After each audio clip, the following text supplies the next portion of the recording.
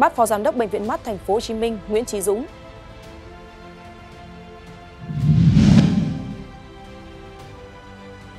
Cựu hiệu trưởng Đại học Đông Đô sắp hầu tòa.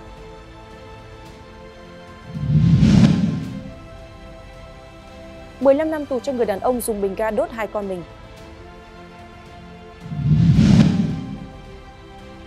Ẩu đả lúc nhậu, một người bị đâm tử vong.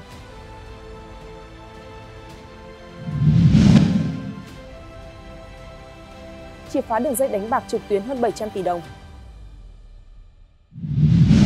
Xin kính chào quý vị, chào mừng quý vị đã quay trở lại với tin tức mới nhất trên kênh youtube Dân Việt, cập nhật tin tức thời sự mới nhất về chính trị, kinh tế xã hội, giải trí. Và không để quý vị chờ lâu hơn nữa, hãy cùng chúng tôi đến với tin tức đầu tiên trong ngày hôm nay. Thưa quý vị, thông tin từ Bộ Công an cho biết, Cơ quan Cảnh sát điều tra Bộ Công an C01 đang bắt tạm giam ông Nguyễn Trí Dũng, Phó Giám đốc Bệnh viện Mắt Thành phố Hồ Chí Minh cùng ba bị can khác vừa bị bắt tạm giam để điều tra về tội vi phạm quy định về đấu thầu gây hậu quả nghiêm trọng. Chi tiết ra sao xin mời quý vị cùng theo dõi. Mới đây, cơ quan cảnh sát điều tra Bộ Công an C01 đang tiến hành điều tra vụ án vi phạm quy định về đấu thầu gây hậu quả nghiêm trọng xảy ra tại bệnh viện mắt thành phố Hồ Chí Minh, số 280 Điện Biên Phủ, phường 7, quận 3, thành phố Hồ Chí Minh, theo quyết định khởi tố vụ án hình sự số 54 trên QD VBCQ CSDT ngày 28 tháng 10 năm 2020 ngày 8 đến ngày 9 tháng 2 năm 2021, Cơ quan Cảnh sát điều tra Bộ Công an đã thi hành các quyết định khởi tố, bắt tạm giam 4 bị can gồm Nguyễn Minh Khải, Giám đốc Bệnh viện Mắt Thành phố Hồ Chí Minh, Võ Thị Chinh Nga, Phó Giám đốc Bệnh viện Mắt Thành phố Hồ Chí Minh, Phí Duy Tiến, nguyên Phó Giám đốc Bệnh viện Mắt Thành phố Hồ Chí Minh, Nguyễn Quốc Toản, nguyên trưởng khoa phẫu thuật gây mê hồi sức, tham gia chỉ đạo thực hiện gói thầu mua sắm thủy tinh thể nhân tạo đơn tiêu năm 2018 của Bệnh viện Mắt Thành phố Hồ Chí Minh về tội vi phạm quy định về đấu thầu gây hậu quả nghiêm trọng, quy định tại khoản 3 điều 222 Bộ luật hình sự năm 2015 tiến hành điều tra mở rộng, căn cứ tài liệu chứng cứ thu thập được đến nay, cơ quan cảnh sát điều tra Bộ Công an đã ra các quyết định khởi tố bị can, lệnh bắt bị can để tạm giam bốn đối tượng là cán bộ, viên chức bệnh viện mắt thành phố Hồ Chí Minh với vai trò là đồng phạm về tội vi phạm quy định về đấu thầu gây hậu quả nghiêm trọng, quy định tại khoản 3 điều 222 Bộ luật hình sự. Bốn bị can gồm Nguyễn Trí Dũng sinh năm 1965, Phó Giám đốc Bệnh viện Mắt Thành phố Hồ Chí Minh, Phan Thị Bích Hạnh sinh năm 1971, trưởng phòng tài chính kế toán Bệnh viện Mắt Thành phố Hồ Chí Minh, Nguyễn Đỗ Nguyên sinh năm 1962, trưởng khoa tổng hợp Bệnh viện Mắt Thành phố Hồ Chí Minh, Lương Ngọc Tuấn sinh năm 1965, Phó trưởng khoa khám mắt Bệnh viện Mắt Thành phố Hồ Chí Minh. Ngày 22 tháng 11 năm 2021, Viện Kiểm sát Nhân dân tối cao đã phê chuẩn các quyết định khởi tố bị can và lệnh bắt bị can để tạm giam. Ngày 24 tháng 11 năm 2021, Cơ quan Cảnh sát điều tra Bộ Công an thi hành các quyết định tố tụng nêu trên theo đúng quy định của pháp luật. Theo tài liệu điều tra năm 2018, Bệnh viện Mắt Thành phố Hồ Chí Minh tổ chức thực hiện gói thầu mua sắm thủy tinh thể nhân tạo đơn tiêu năm 2018 để mua sắm vật tư phục vụ điều trị khám chữa bệnh. Khi thực hiện đấu thầu mua sắm, một số cá nhân lãnh đạo bệnh viện mắt thành phố Hồ Chí Minh đã làm trái quy định của pháp luật về đấu thầu để loại mặt hàng thủy tinh thể nhân tạo cùng tương đương đáp ứng yêu cầu về kỹ thuật và có giá dự thầu thấp nhất, mua các mặt hàng thủy tinh thể có giá dự thầu cao hơn gồm thủy tinh thể nhân tạo CT Asvina 509M với giá 3,1 triệu đồng trên một cái, thủy tinh thể nhân tạo CT Asvina 509MB với giá 3,6 triệu đồng một cái, Thủy tinh thể nhân tạo CT Lucia 601 BI với giá 3,4 triệu đồng trên một cái. Thủy tinh thể nhân tạo CT Lucia 201B với giá gần 3 triệu đồng một cái.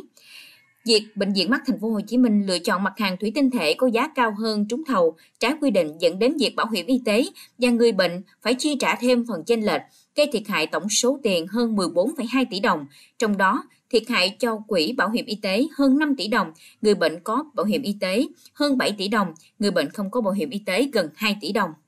Để phục vụ yêu cầu điều tra, cơ quan cảnh sát điều tra Bộ Công an thông tin để các cá nhân là bị hại biết liên hệ với cơ quan cảnh sát điều tra Bộ Công an phòng 4 C01 để giải quyết theo quy định của pháp luật. Địa chỉ số 47 Phạm Văn Đồng, phường Mai Dịch, quận Cầu Giấy, thành phố Hà Nội. Số điện thoại trực ban 069 234 5860, số điện thoại di động 0975 919 247.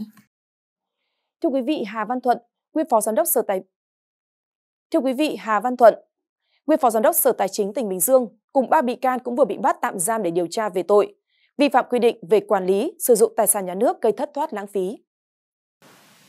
Mới đây, Bộ Công an cho biết cơ quan cảnh sát điều tra Bộ Công an đang điều tra vụ án vi phạm quy định về quản lý, sử dụng tài sản nhà nước gây thất thoát, lãng phí xảy ra tại Tổng công ty sản xuất xuất nhập khẩu Bình Dương trách nhiệm hữu hạn một thành viên Tổng công ty 3 tháng 2 theo quyết định khởi tố vụ án hình sự số 02 trên BC03 ngày 16 tháng 12 năm 2019 của cơ quan cảnh sát điều tra Công an tỉnh Bình Dương và quyết định số 14 trên QD VKCPI ngày 3 tháng 9 năm 2020 của Viện Kiểm sát Nhân dân tỉnh Bình Dương về việc chuyển vụ án để điều tra theo thẩm quyền. Căn cứ tài liệu điều tra thu thập được, ngày 22 tháng 11 năm 2021, Cơ quan Cảnh sát điều tra Bộ Công an đã ra các quyết định khởi tố bị can, lệnh bắt bị can để tạm giam và lệnh khám xét đối với 4 bị can gồm Hồ Đắc Hiếu, Tổng Giám đốc Công ty Cổ phần Tư vấn và Thẩm định giá Đông Nam, Hà Văn Thuận, nguyên Phó Giám đốc Sở Tài chính tỉnh Bình Dương, hiện là Tổng Giám đốc Công ty trách nhiệm hữu hạn một thành viên đầu tư và quản lý dự án Bình Dương, Nguyễn Kim Liêm, nguyên Chi cục trưởng Chi cục Tài chính Doanh nghiệp tỉnh Bình Dương, Vũ Thị Lợi, nguyên trưởng phòng nghiệp vụ thuộc Chi cục Tài chính Doanh nghiệp tỉnh Bình Dương, hiện là Phó phòng Tài chính Doanh nghiệp thuộc Sở Tài chính tỉnh Bình Dương. Bốn bị can trên đều bị khởi tố về tội vi phạm quy định về quản lý, sử dụng tài sản nhà nước gây thất thoát, lãng phí theo Điều 219 Bộ Luật Hình sự năm 2015. Sau khi Viện Kiểm sát Nhân dân tối cao phê chuẩn, Cơ quan Cảnh sát điều tra Bộ Công an đã thi hành các quyết định và lệnh nêu trên theo đúng quy định của pháp luật. Hiện Cơ quan Cảnh sát điều tra Bộ Công an đang tiếp tục điều tra triệt để, mở rộng vụ án và áp dụng các biện pháp theo luật định để thu hồi tài sản cho nhà nước. Tiếp tục một vụ án lạm quyền khác.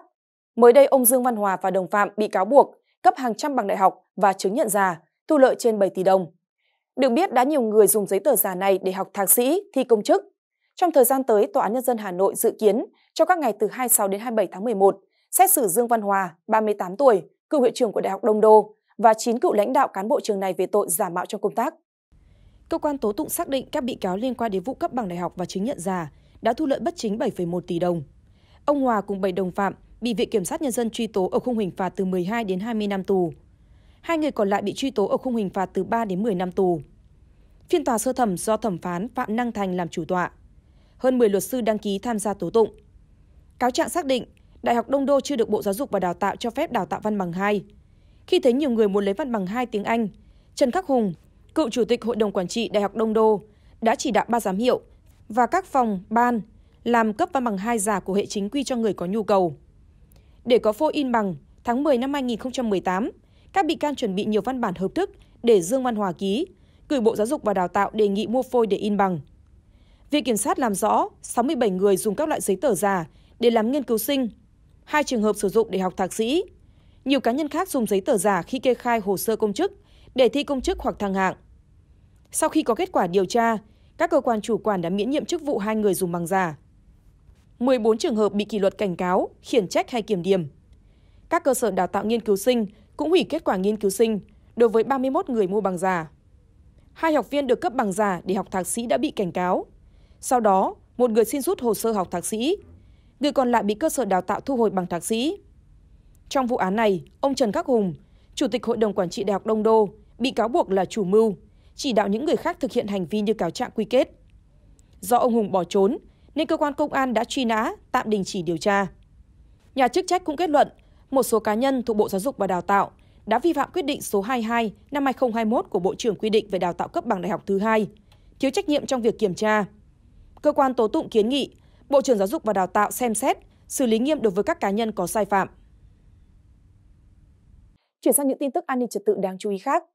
Thưa quý vị, mới đây Phòng Cảnh sát Hình sự PC02 Công an Thành phố Hồ Chí Minh cho biết đã bắt giữ Nguyễn Hoàng Tuấn, sinh năm 1988, quê Bến Tre, về hành vi cưỡng đoạt tài sản. Theo lời khai ban đầu, Tuấn lên mạng mua một bộ quân phục, sau đó giả làm công an, chạy xe biển số xanh đi tìm những người chuyên chăn dắt trẻ em, người ăn xin để cưỡng đoạt tiền.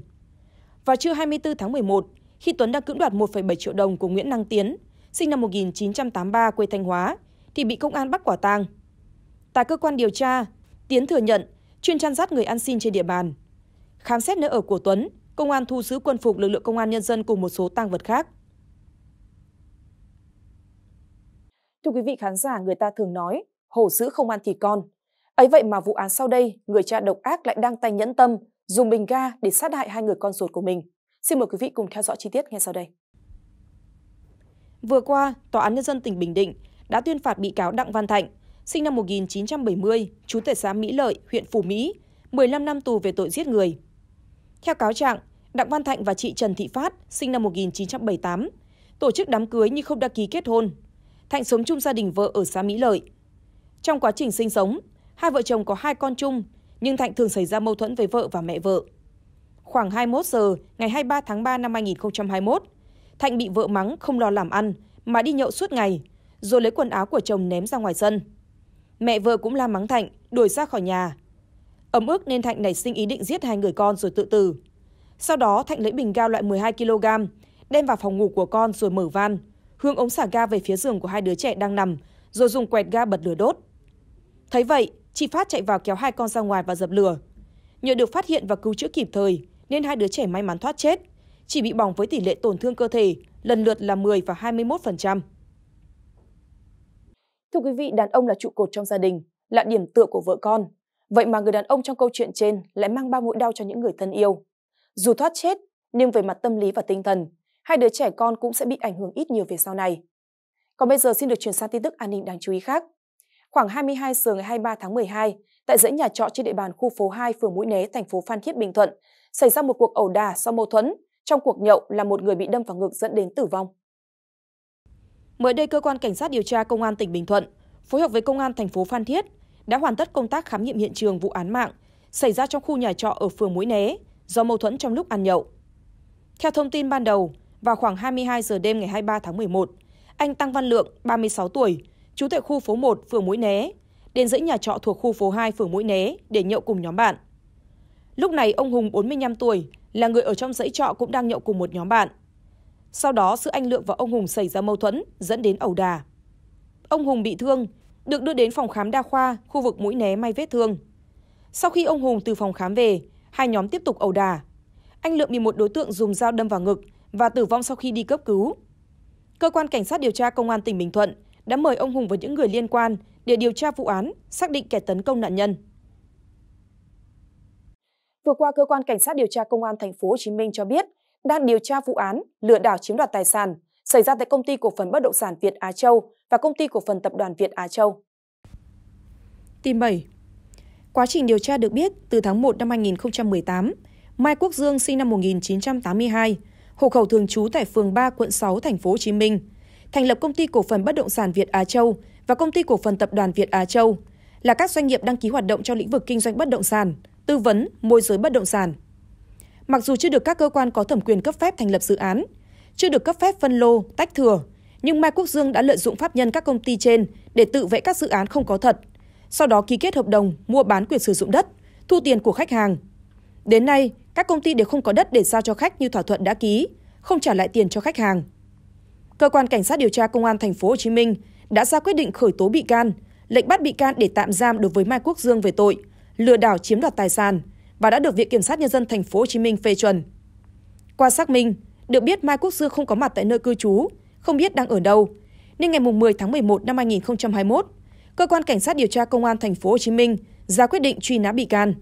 Vì vậy, ai phát hiện Mai Quốc Dương đề nghị báo ngay đến cơ quan cảnh sát điều tra công an thành phố Hồ Chí Minh tại địa chỉ 674 đường mùng 3 tháng 2, phường 14, quận 10, số điện thoại 0693 187783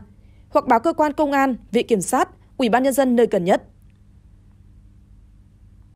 Thưa quý vị, theo thông tin cập nhật mới nhất, một đường dây đánh bạc dưới hình thức cá cược trực tuyến trên mạng Internet, ước tính hơn 700 tỷ đồng, vừa bị lực lượng chức năng tỉnh Ninh Thuận triệt phá. Nguồn tin từ Công an tỉnh Ninh Thuận cho biết, vừa triệt phá một đường dây đánh bạc dưới hình thức cá cược trực tuyến trên mạng Internet tại tỉnh này. Kết quả điều tra ban đầu cho thấy, đường dây đánh bạc do đối tượng Nguyễn Hoàng Sa Bảo, còn gọi là Cu Bo, sinh năm 1986, trú tại thôn Hạnh Chí 1, xã Quảng Sơn, huyện Ninh Sơn, tỉnh Ninh Thuận cầm đầu. Với hình thức cá cược trực tuyến trên mạng Internet, từ đầu tháng 6 năm 2021, Bảo sử dụng hai tài khoản Supermaster, phân cấp 11 tài khoản Master, 28 tài khoản Agent để giao cho nhiều người cùng đánh bạc dưới các hình thức như đá bóng, đánh bài, với tổng số điểm cá cược lên đến 14 triệu điểm, ước tính hơn 700 tỷ đồng. Cơ quan công an đã tiến hành khám xét khẩn cấp, tạm giữ 6 đối tượng cùng nhiều tăng vật, gồm 17 điện thoại di động, 3 laptop, 2 ô tô, 3 thẻ ngân hàng, một súng bắn đạn bi, gần 436 triệu đồng và nhiều tài liệu liên quan đến việc cá cược. Liên quan tới tội phạm trong mùa dịch, Mới đây, Công an tỉnh Tiền Giang bắt quả tang 13 đối tượng đang có hành vi đánh bạc dưới hình thức đá gà ăn tiền. Sau đó, ngành chức năng test nhanh các đối tượng và phát hiện một F0.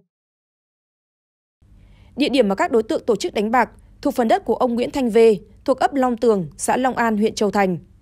Tại hiện trường, lực lượng công an thu giữ 4 con gà, 12 cặp cựa, một cân đồng hồ, 13 xe ô tô, gần 15 triệu đồng và nhiều dụng cụ khác để phục vụ cho việc đá gà. Qua điều tra ban đầu, tụ điểm đá gà trên do Trần Quang Sơn, 49 tuổi, quê Hải Phòng, đang trú tại phường 10, thành phố Mỹ Tho, tỉnh Tiền Giang, và Nguyễn Thanh Vân, 49 tuổi, thuộc ấp Long Tường, xã Long An, huyện Châu Thành tổ chức. Xung quanh tụ điểm đá gà có hàng rào bao bọc và có người cảnh giới. Sau khi triệt xóa tụ điểm nói trên, lực lượng làm nhiệm vụ phối hợp với ngành y tế tiến hành test nhanh kháng nguyên cho 13 đối tượng. Kết quả có một đối tượng dương tính với SARS-CoV-2. Hiện phòng cảnh sát hình sự công an tỉnh bàn ra các đối tượng cùng tăng vật cho công an huyện Châu Thành tiếp tục điều tra làm rõ, đồng thời phối hợp với ngành y tế tiến hành các biện pháp cần thiết để xử lý các trường hợp F0, F1 theo đúng quy định. Thưa quý vị khán giả, thông tin vừa rồi đã kết thúc bản tin của chúng tôi ngày hôm nay. Cảm ơn quý vị đã quan tâm theo dõi. Kính chào tạm biệt và hẹn gặp lại.